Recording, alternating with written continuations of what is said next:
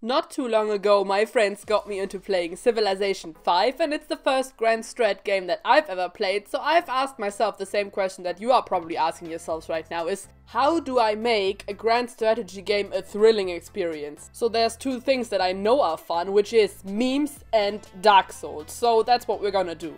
Okay, so the way we're gonna achieve this is I'm only gonna play against the most aggressive civs and also obviously on the difficulty setting deity because we are no casuals up in here. there is no way that I'm gonna survive 100 turns, so we are going to play as Gandhi and our goal will be to launch one nuke at one town and then we'll call it good game. To make this even harder, because we know a hard game equals a fun game, we are only going to take the most aggressive civs there are, so I'm going to play against Assyria, Mongolia, the Aztecs, the Zulus, and the Celts, which are arguably the most aggressive civilizations and will wage a war against you for no reason at all. So of course it starts out fine. Everything is kind of up in their own business. I'm exploring the entire map. Delhi is ever growing and the economy is kind of like, it, it, it's working, okay? We're all kind of ignoring each other, but no one is declaring war on anyone, so that's great. And then all of a sudden...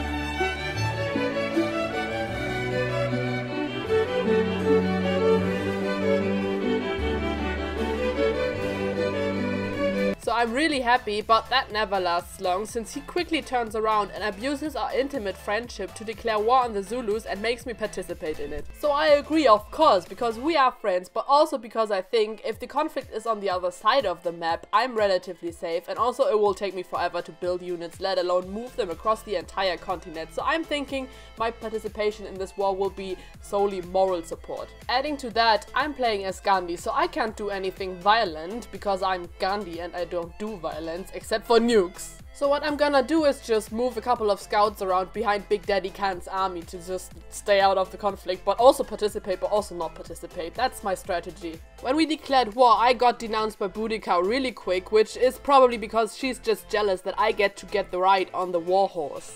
So while Mongolia completely demolishes all Zulu settlements, I just stand in the background and nod in quiet agreement.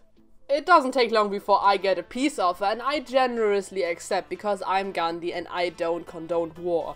While I'm really glad I got to deflate this conflict, out of absolutely nowhere, Montezuma declares war on me. For no reason, absolutely no reason. It's just, he just didn't like the way I looked, apparently. What makes this even worse is that the Aztecs are my direct neighbor and they will probably be there in two turns only and absolutely obliterate my city because I didn't have the means to fortify it yet. And I'm only having one city because the Indian civilization thrives on having one overpopulated city instead of having multiple settlements with fewer population. I don't know about the political implications of that, but that's Sid Meier's fault and not mine. So the two turns are over and Montezuma is right at my gate, so I politely ask my best friend if he wants to wage the war with me, and he says no. Very polite while doing so, but still I'm going to be dead in 5 turns now. So in a last ditch effort to somehow survive all of this, I ask all other participants if they wanna wage the war against Aztecs with me, but they all decline. Politely, but they decline, so my doom is settled.